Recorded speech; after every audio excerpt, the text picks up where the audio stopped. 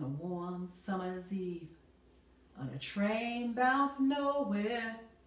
I met up with a gambler. We were both too tired to sleep, so we just kept on staring. In the window at the darkness, the boredom overtook us.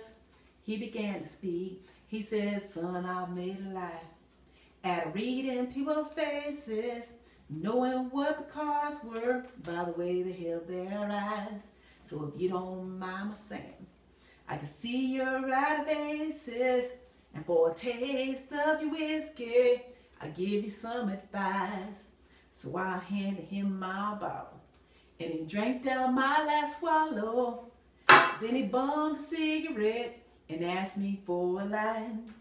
The night got deathly quiet, and his face lost all expression. Said, if you're gonna play the game, boy, you gotta learn to play it right.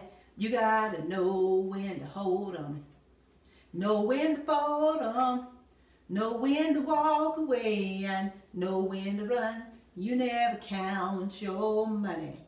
When you're sitting at the table, there'll be time enough for counting when the dealing's done.